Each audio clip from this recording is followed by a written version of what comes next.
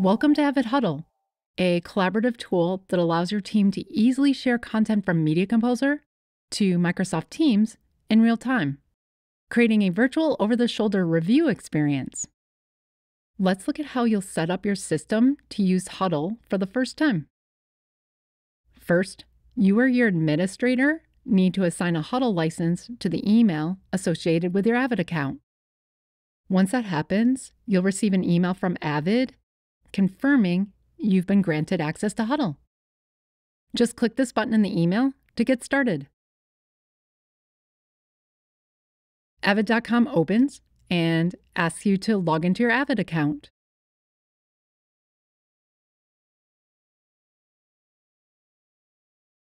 At the top of the My Products page, a message appears stating that your Huddle license activation has already begun and will be completed in a few minutes.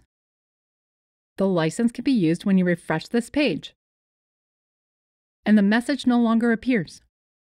After your license is activated, you'll want to confirm your system meets certain technical requirements before hosting a huddle session. Most importantly, you need to have access to Media Composer Ultimate or Enterprise 2023.12 or newer, either on a local computer or in an edit on demand subscription.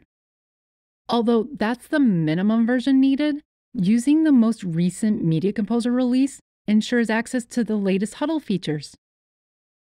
When you install or upgrade Media Composer, make sure both the SRT and Avid Huddle plugins are checked during the install process. Since Huddle uses SRT, it won't install unless both of these are selected. Then follow the rest of the installation process as usual. Huddle will automatically install within Media Composer, so no additional configuration steps are required. Finally, a host needs a working license for Microsoft Teams. Huddle works with either work or school editions of Teams in both the new and classic modes. With that, you're ready to host your first Huddle session.